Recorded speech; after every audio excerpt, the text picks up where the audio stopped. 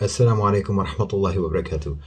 You know that scene in action movies where someone is handcuffed to a pipe or something, or their clothes are improbably caught on a hook while the room or the car that they're in is filling up with water? That scene is in so many movies. Well, that's the predicament that Andrew Tate's fans are in right now with every successive leak of evidence from the Romanian prosecutor's office. They have attached themselves to this guy, and it's going to be hard to pry themselves loose to avoid drowning in the reality that they've been had. Tate used the so-called lover boy method to lure women to Romania under the pretense of starting a serious relationship with them or even marrying them only to then trap them into doing webcam porn for him in a strange country with no passports, no contacts, using threats, violence, and psychological abuse to keep them compliant. And he's basically used that same lover boy strategy with the young men who are his fans, promising them that he cares about them and convincing them that they need him and that he is the savior who will lead them out of the Matrix, only to then extort their insecurities and general frustration, getting thousands of dollars from them by selling them courses on ideas for working in the gig economy or tactics and strategies for how to browbeat and manipulate women. Andrew Tate is a vile and violent con man who preyed on the weakness and gullibility of women, of men, and yes, of Muslims. There are many who are still in denial about this. And I've seen this phenomenon many times in my work because most of my clients are human rights and legal organizations, and we come across scamming victims all the time. Mostly women who have been duped by romance scammers, usually posing as pilots for some reason, convincing them that they love them, they love bomb them, make them fall in love with them, and then they tell them, uh, I've been arrested in Dubai and I need money for bail I need money for fines. I need money for this, for that, for the other. And the women send them thousands and thousands of dollars. Even when we have explained to them that this is a scam, that this is a con, many women still hold out the hope that this person that they fell in love with is still honest and true and is maybe facing a catastrophe in their life and they still want to help, even after they've been scammed. It's hard to accept. I get it. It's embarrassing and it's disappointing.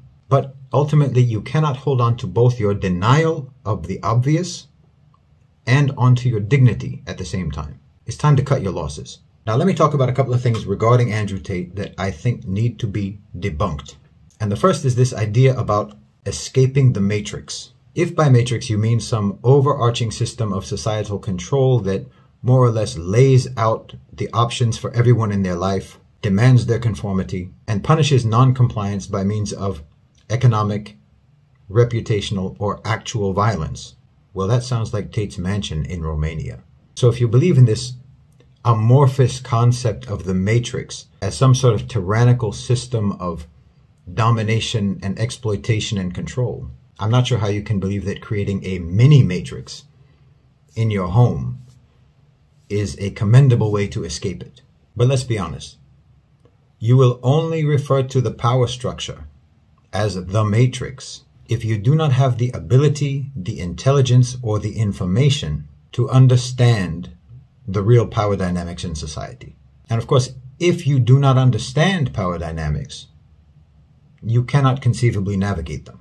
Using terms like the matrix is just an abstraction that lends itself to people who are generally disgruntled, who feel disempowered and ganged up on, and who don't know how to articulate that, and who don't know what to do about it. Now, I talk about the owners and controllers of global financialized capital, and fair enough, that's also vague, but it's certainly not as vague as the term the matrix, and it's more specific than saying something like the elites or the upper class. And I don't actually claim that this group of people runs the world. They control powerful economic, political, and culturally influential institutions, and they use these institutions to protect and support their interests. But within the owners and controllers of capital, there are competing interests on a variety of issues, and we cannot say that they actually operate as a monolith, and they and their institutions are susceptible to external pressures, particularly popular opposition. The socioeconomic system that is promoted by this class of people and their institutions is neoliberal capitalism. It's materialism, it's consumerism, it's selfishness and greed. Because that is the sort of system in which they have the most advantages. And it is the sort of system through which they can consolidate those advantages. They're simply the biggest players in that game, so that's the game that they want everyone to play. Now, Andrew Tate is a psychopathic capitalist. He's a hyper materialist, an absolute believer, zealot even, in the accumulation of extravagant wealth, the consumption of luxury, radical selfishness, and an absolute believer in the infallible logic of sociopathic exploitation, manipulation, and self promotion. He is in every way the spawn of amoral neoliberal extremism. If you asked an AI program to create a cartoon to represent delusional predatory narcissism, it would create Andrew Tate. There is nothing whatsoever about Andrew Tate that challenges or even diverges from the ideology of the power structure. Wait, I'm not done. Tate's online courses in his Hustlers University offers advice on how to earn an income outside of the traditional workforce, i.e., how to make money uh, freelancing and doing side hustles. Now, obviously, this is nothing unique. The internet is full of these kinds of courses. But let's talk about what this really means in terms of the matrix. When you encourage workers to leave the labor force and to try to get by through the gig economy, you are promoting the depletion of workers from small and medium sized businesses, which will likely cause them to fail. Thus, leaving only the largest corporations to further dominate the economy. And most of your side hustle ideas and most of your gig work will be for the benefit precisely of these corporations, except that you will be working for them for pennies, without benefits, without insurance, without health care, with no pension, and without the collective bargaining power of employees, such as through things like affiliate marketing for Amazon. This strategy does nothing but serve the interests of the largest corporate players in neoliberal capitalism. Other than this, Tate has offered, I think that he's deleted these courses now for probably legal reasons. He offered advice on how to manipulate women and how to be a pimp. Again, this is not a revolution against the system. This is completely in line with the ideology of the elite class. The trendiness, by the way, of disdain for labor is incredibly self defeating. I mean, contempt for people who work nine to five jobs. This is so popular online to talk about. Contempt for people who work nine to five jobs mirrors the attitude of the corporate class, and it is profoundly contrary to Islamic values. In Islam, good, hard, honest work is praised and honorable. It's also counterproductive if you're talking about trying to break away from or break down the matrix, whatever that word means to you.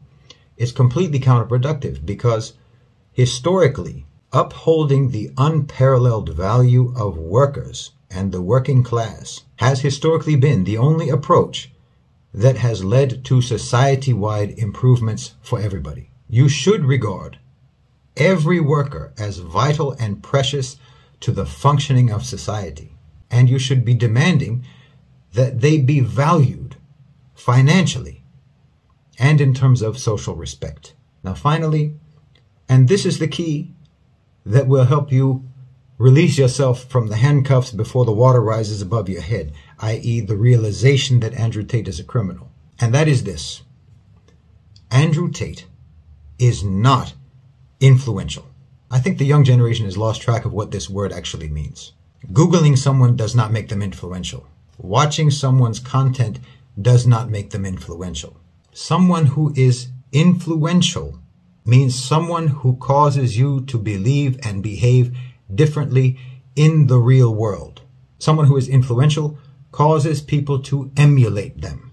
They are a role model in terms of how you actually behave and conduct yourself in the real world. No one who watches Andrew Tate is actually trying to speak and act like him. No one is trying to behave like him. No one is trying to do what he did unless they're mentally ill. Imitating Andrew Tate in real life would be the fastest imaginable way to alienate everyone you know. The fastest imaginable way to disgust every woman that you meet. And the fastest imaginable way to get punched in the face. No one is actually doing that. Andrew Tate is an algorithmically invented celebrity. Sure, undoubtedly. There are people who are followers of Andrew Tate who are imitating him in their online content, in their posts, in their comments, and so on. Online, but not in the real world. Because that would be social suicide. Andrew Tate is a parade float, not a role model. So please stop talking about Andrew Tate being the most influential man in the world. It's not true. The most influential man in the world today, tomorrow, and for the last 1,400 years is Muhammad al-Rasulullah sallallahu alayhi wasallam. Nearly 2 billion people on this planet emulate him, imitate him as best they can. We follow him, we learn from him how to behave, how to be a man, how to be a husband, how to be a father, how to be a leader, how to do business, how to do and be everything that a person could ever do or be. We imitate Rasulullah sallallahu alaihi wasallam down to the movement of a finger. There is no other, no better, and no more influential person in this world, nor in the history of this world, from the moment that the wahi came until the end of time. Now I know that some of the die-hard Muslim fans of Andrew Tate will protest and say that the sins and the crimes that he committed before announcing his conversion to Islam should not be factored in to our judgment about the man. This is simply wrong. Andrew Tate may someday become a good man. He may someday become a sincere and righteous Muslim. And if and when that day comes, ahlan wa sahlan. But that's not who he is now. And that's not who or what he has ever been. The crimes that he committed and that he flaunted and the legitimate grievances of others against him are not nullified by the announcement of his conversion. When Qais ibn Asim confessed to Rasulullah that he murdered his daughters in Jahiliyyah.